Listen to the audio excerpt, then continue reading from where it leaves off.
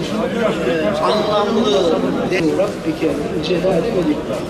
Hani dualarımızda ayet-i kerimede de var ya. Sözün bittiği yer.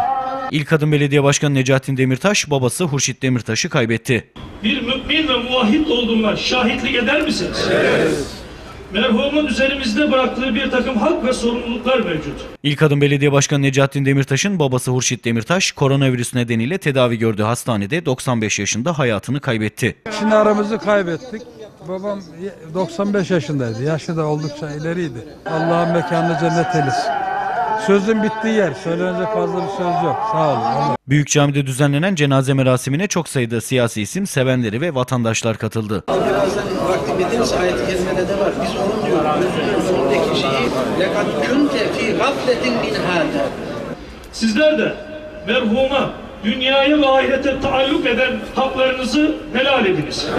Haklarınızı helal ediniz. Haklarınızı helal ediniz.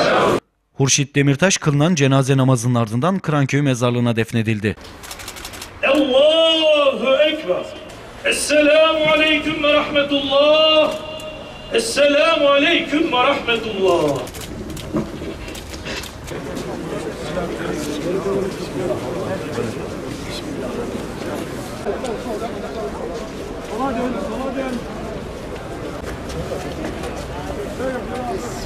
Dikkat merdiven var. Dikkat.